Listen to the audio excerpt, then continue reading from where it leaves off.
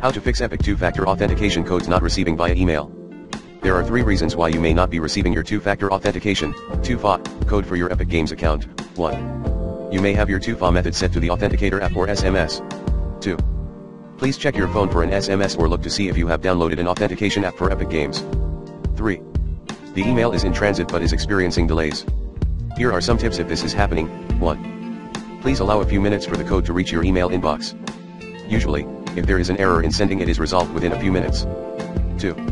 Check your spam folder and make sure that you are whitelisted to receive emails from Epic Games, at epicgames.com, at accountepicgames.com, and at accountsepicgames.com. 3. If you can't find the code in your spam folder, try refreshing your inbox after a few minutes. 4. After 10 minutes, if you still don't receive the code, click contact us to submit a support ticket so that we can help you out. 3. You don't have access to the email address that is currently on your Epic Games account. If that is the case, click contact us to submit a support ticket.